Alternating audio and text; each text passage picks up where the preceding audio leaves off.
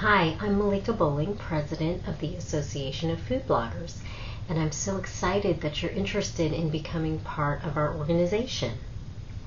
Now, some of the benefits of joining our organization are things like brand ambassadorships, writing assignments, career opportunities, sponsored travel, even complimentary dinners in your city. And those are just a couple examples of some of the many opportunities that we have available to our members.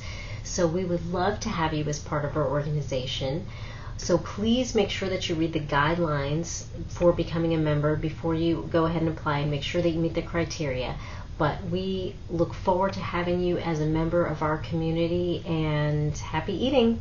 Thank you.